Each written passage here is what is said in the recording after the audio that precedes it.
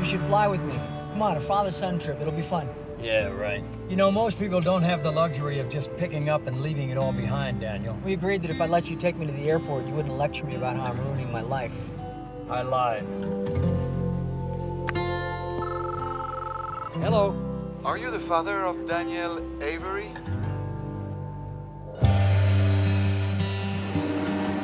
Was walking the road to Santiago de Compostela, 800 kilometers on the northwestern coast of Spain. This is everything he had when we found him.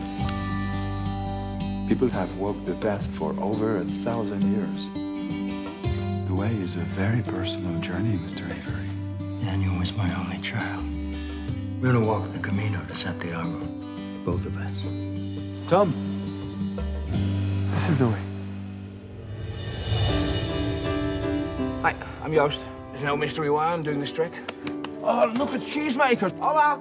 Hey, Tom, wait. Yeah, you should try some. No, thanks. Tom! Tom, it's me!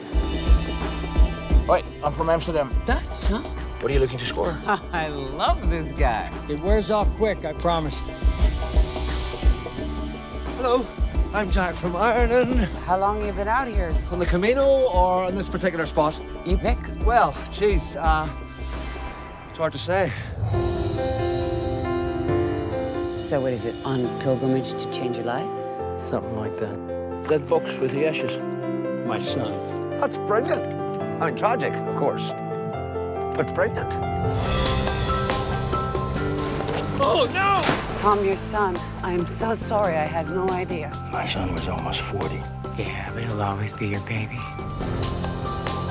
What was your son like? Smart, confident, stubborn, pissed me off a lot. Was a lot like you.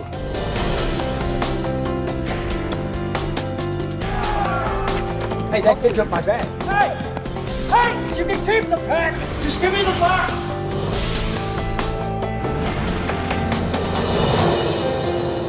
You don't choose a life, Dad. You live one. What, you can do this on a bike? Why the hell are we walking?